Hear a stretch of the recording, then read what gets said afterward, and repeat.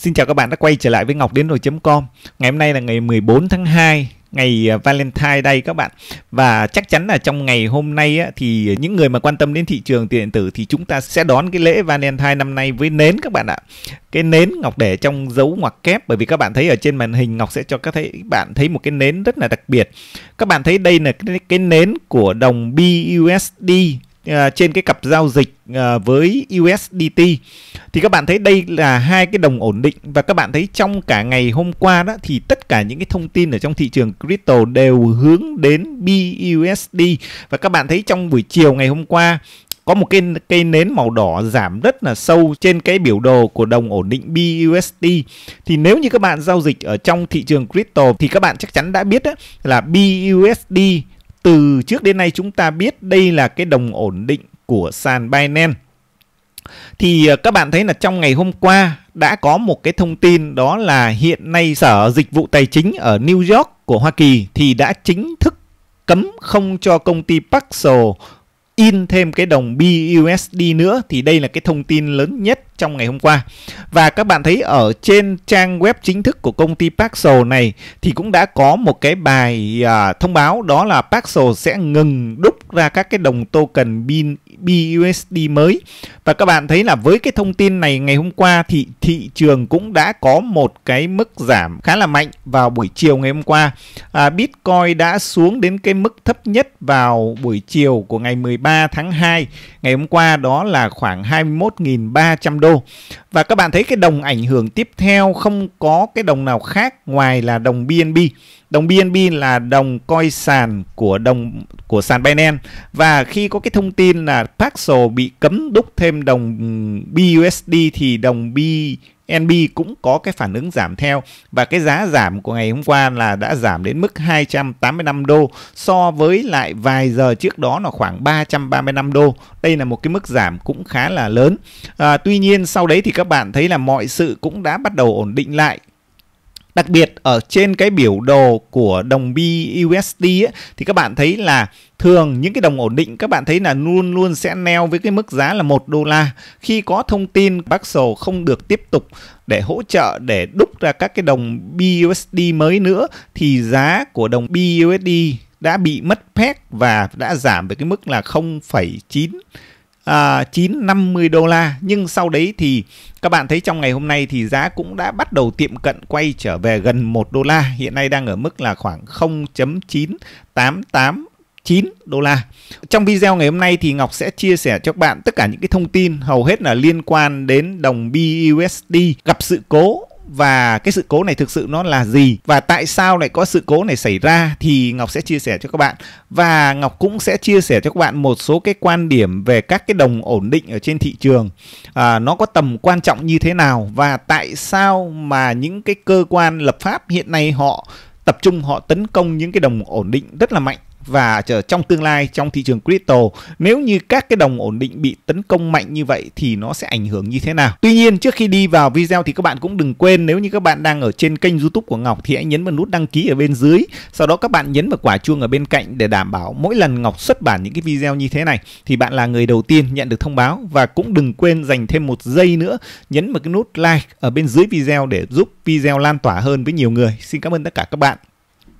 Quay trở lại một chút với thông tin chung về thị trường. Thị trường ngày hôm nay thì tất cả đều là màu đỏ. Các bạn thấy BTC đang à, ở mức là 21.760 đô. Và ở trên thị trường thì các bạn thấy có một cái màu đỏ đậm nhất đó là đồng BNB. Đồng BNB ở trong 24 giờ qua thì giảm à, hơn 5%.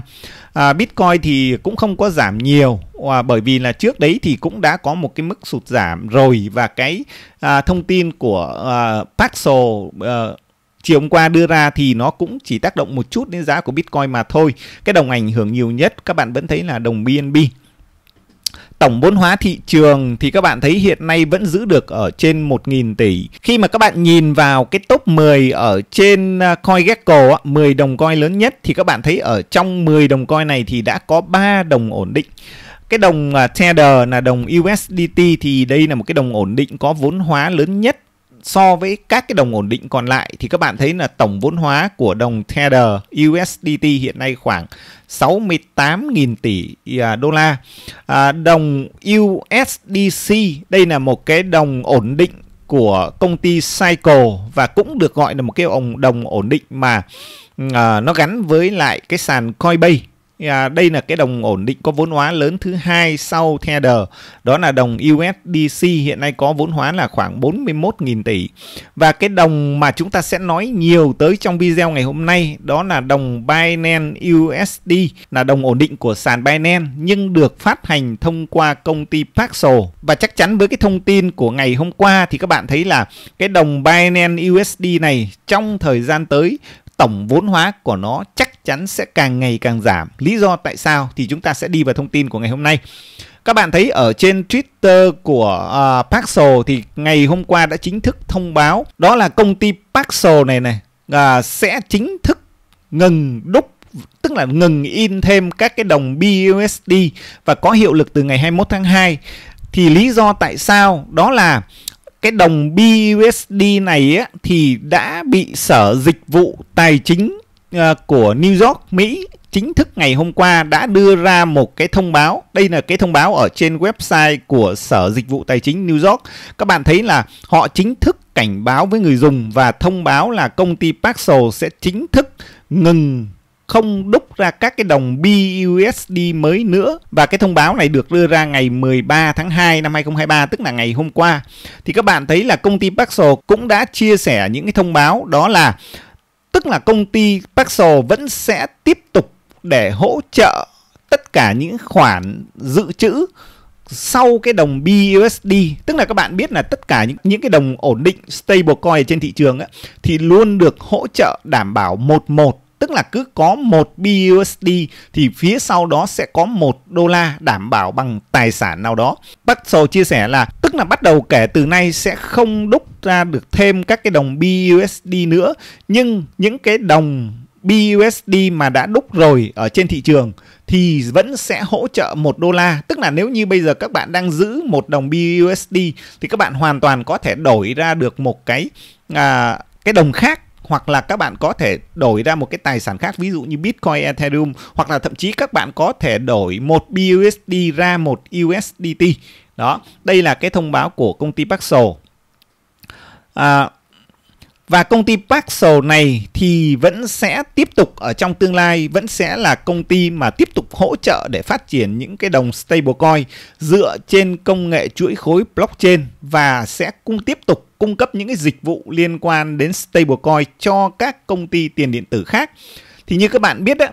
Paxos này là một cái công ty mà họ chuyên hỗ trợ và cung cấp những cái dịch vụ cho các công ty tiền điện tử nếu muốn phát hành đồng đổ định đồng stablecoin được đảm bảo bằng tài sản một USD ở phía sau. Thì đối với đồng BUSD thì các bạn thấy là đây là cái sự hợp tác giữa sàn Binance với công ty Paxos mà chúng ta biết đó chính là sự hợp tác để tạo ra cái đồng ổn định, mang thương hiệu của sàn Binance chính là đồng Binance USD thì với cái thông tin ngày hôm qua thì các bạn sẽ thấy là trong thời gian tới chắc chắn sẽ không có thêm cái đồng BUSD này nữa được in ra. Và chắc chắn nếu với cái thông tin này thì trong thời gian tới Ngọc nghĩ rằng đồng BUSD sẽ không còn tồn tại trên thị trường. Bởi vì các bạn thấy là đối với chúng ta, những người mà đang giữ đồng BUSD bây giờ thì chắc chắn đối với cái thông tin này chúng ta cũng sẽ đổi những cái đồng BUSD này sang những cái đồng khác hoặc là có thể bán nó. Do vậy chắc chắn là ở trong thời gian tới thì cái vốn hóa của đồng BUSD nó sẽ càng ngày càng giảm đi và trong tương lai xa hơn, đối với cá nhân Ngọc Ngọc nghĩ rằng là đồng BUSD này có khả năng sẽ biến mất ở trên thị trường. Thì các bạn thấy là Ngày hôm qua sau khi cái thông tin này thì TZ founder của sàn Binance cũng đã cung cấp một vài cái thông tin là liên quan đến đồng BUSD thì các bạn thấy là CZ nói là BUSD thì được cung cấp và được à, mua lại bởi chính công ty Paxos và đây chỉ là cái sự hợp tác giữa sàn Binance với Paxos mà thôi. Và CZ cũng nói là Paxos hiện nay đã bị sở tài chính à, của New York à, ngừng không cho cung cấp và đúc thêm cái đồng BUSD này nữa. Và CZ cũng nói rằng trong tương lai thì chắc chắn là cái đồng BUSD này cái vốn hóa của thị trường nó sẽ càng ngày càng giảm theo thời gian thì các bạn thấy là đây đối với cái đồng BUSD này á thì các bạn thấy là ở gần đây nó có hai thông tin hướng đến cái đồng BUSD. Đó là cái thông tin thứ nhất ngày hôm qua đã chính thức ra, đó là Sở Dịch vụ và Tài chính của New York đã chính thức à, ra một cái quyết định là công ty Paxo không được cung cấp dịch vụ để đúc thêm đồng BUSD BUSD này nữa. Thế nhưng các bạn thấy là ở bên cạnh đó còn một cái thông tin khác nữa đó chính là SEC là Ủy ban chứng khoán của Mỹ cũng đang kiện chính công ty Paxo này và nói rằng đồng BUSD là một chứng khoán thì cái vụ kiện này nó tách biệt hoàn toàn với cái sự kiện mà à, Sở Dịch vụ Tài chính cấm công ty BUSD hai, đây là hai thông tin khác nhau và CZ cũng nói rằng là CZ cũng rất không hiểu tại sao mà SEC lại nói BUSD là một chứng khoán vì về cơ bản, các bạn thấy nếu một cái đồng nào đó là một chứng khoán thì nó sẽ thỏa mãn bốn cái điều kiện ở bên dưới này. Các bạn thấy bốn cái điều kiện này là thứ nhất là gì? Đây là một cái khoản đầu tư được được đầu tư bằng tiền. Cái yếu tố thứ hai đó là một và cái yếu tố thứ hai đó là chúng ta đầu tư vào một cái công ty, một cái doanh nghiệp cụ thể. Và cái đặc biệt là cái yếu tố thứ ba này là đây là chúng ta đang đầu tư để chờ đợi một cái khoản lợi nhuận thì các bạn thấy là đồng BUSD luôn luôn là một cái đồng ổn định và nó chỉ có giá trị là một đô la. Thì đối với cái yếu tố thứ ba này thì có vẻ như nó không áp dụng được với đồng BUSD và chính CZ và cũng rất nhiều người à, nổi tiếng ở trên Twitter họ cho rằng là cái điều mà à, ủy ban chứng khoán của Mỹ đó kiện công ty Paxos này nói đồng BUSD là một chứng khoán thì hoàn toàn không đúng và sau đó thì CZ cũng chia sẻ là nếu như trong trường hợp đồng BUSD mà sau này sẽ bị tòa án à, liệt nó vào là một chứng khoán thì có thể đây sẽ là một cái thông tin nó sẽ gây ảnh hưởng ở trên cái thị trường tiền điện tử. Và cuối cùng thì CZ cũng nói rằng Binance sẽ tiếp tục để hỗ trợ đồng BUSD này trong thời gian gần. Thì các bạn thấy là À, đây cũng là một cái thông tin cho chúng ta thấy là có thể như là đồng BUSD sẽ cũng chỉ được à, sàn Binance hỗ trợ trong thời gian gần tức là sao? Tức là trong cái thời gian từ nay đến tháng 2 của năm 2024 á,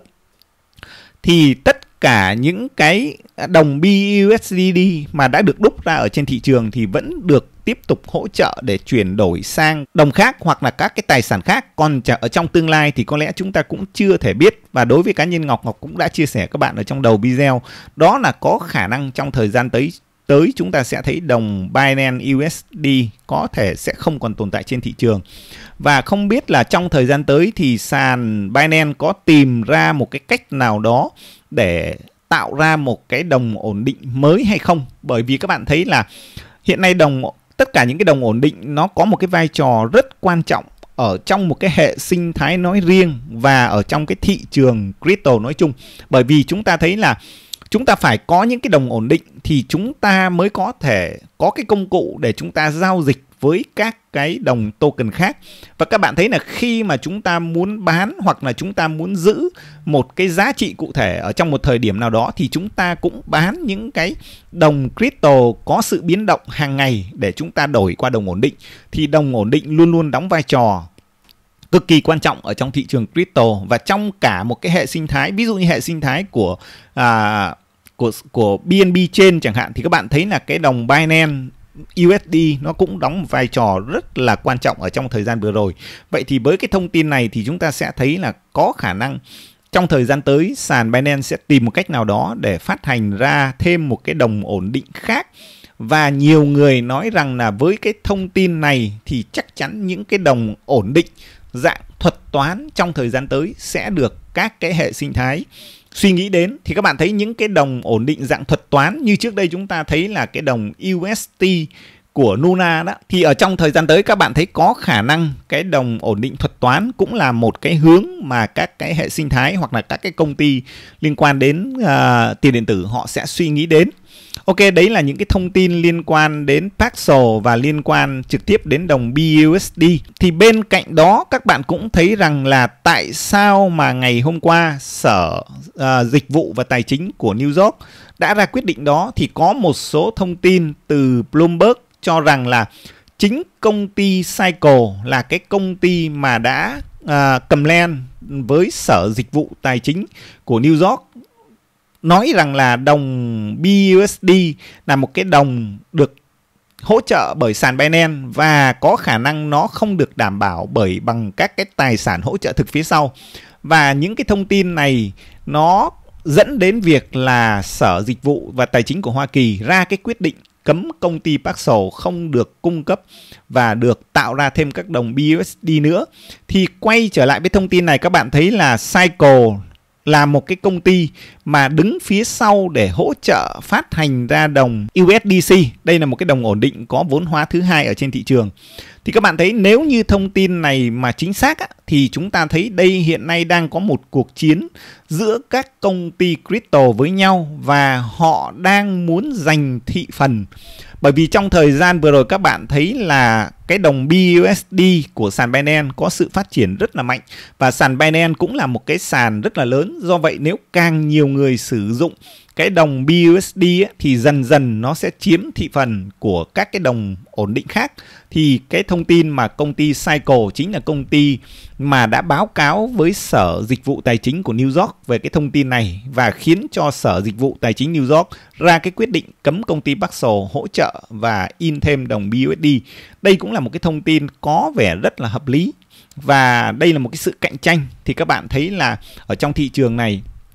đang có những cuộc chiến giữa các chính trị gia. Rồi cũng chúng ta bên cạnh đó chúng ta cũng thấy là có các cái cuộc chiến liên quan đến giữa các công ty tiền điện tử với nhau. Họ cạnh tranh và họ muốn giành cái miếng bánh ở trong thị trường. Và cái miếng bánh này chính là cái miếng bánh được gọi tên là stablecoin những cái đồng ổn định. À, ok, đây là những cái thông tin liên quan đến BUSD và chúng ta sẽ theo dõi thêm. À, đối với cá nhân Ngọc thì Ngọc nghĩ rằng là cái thông tin này trong một vài ngày nó cũng sẽ lắng xuống thôi và chúng ta sẽ thấy là người dùng cũng sẽ tìm cách để chuyển những cái đồng ổn định như BUSD sang những cái đồng ổn định khác và tiếp tục để sử dụng trên thị trường. Ngoài ra hôm nay chúng ta cũng có thêm một cái thông tin nữa đó là à, Visa cũng đã hợp tác với lại công ty Crypto Payment à, uh, YS để kết hợp để phát hành ra một cái thẻ uh, Visa mà được hỗ trợ để thanh toán bằng tiền điện tử phía sau đấy. Và cái thẻ này sẽ được phát hành ở UK ở nước Anh. Và trong thời gian tới thì sẽ mở rộng ra khu vực uh, châu Á Thái Bình Dương ASEAN Pacific. Và các bạn thấy là đây là một cái thông tin uh, nó rất là quan trọng bởi vì Visa sẽ cung cấp cái dịch vụ thanh toán bằng crypto thông qua thẻ Visa tới khoảng 5 triệu người 5 triệu người và trong thời gian tới thì có thể mở rộng cái dịch vụ này và phủ tới 40 quốc gia khác. Thì các bạn thấy là càng ngày càng có những cái dịch vụ của những cái công ty tài chính truyền thống trước đây là Visa và nhìn thấy cái tiềm năng của thị trường crypto và họ bắt đầu tích hợp những cái sản phẩm, những cái dịch vụ liên quan đến crypto ở trong các cái công ty tài chính truyền thống của họ thì đây là cái thông tin cũng rất là quan trọng chúng để chúng ta thấy crypto ngày càng phát triển. Ok, còn một thông tin cuối cùng nữa đó là vào tối nay khoảng 8 giờ 30 giờ Việt Nam, tối nay à, ngày 14 tháng 2 thì chúng ta sẽ có thêm cái thông tin về chỉ số à, lạm phát của Hoa Kỳ. Thì chúng ta cái chỉ số lạm phát hiện nay đang được dự đoán là khoảng 6.2% tức là giảm so với tháng trước. Tháng trước đang ở là 6.5% thì chúng ta sẽ cùng chờ đợi để theo dõi xem là trước cái thời điểm là 8 giờ 30 tối nay thì thị trường sẽ phản ứng như thế nào và sau khi có thông tin chỉ số CPI chính thức vào tối nay thì giá Bitcoin nói riêng và thị trường crypto sẽ tăng hay giảm. Ok, đây là tất cả những cái thông tin mà Ngọc muốn chia sẻ cho bạn ở trong video ngày hôm nay. Hy vọng nó đã mang lại giá trị và Ngọc xin hẹn gặp các bạn ở những cái video tiếp theo.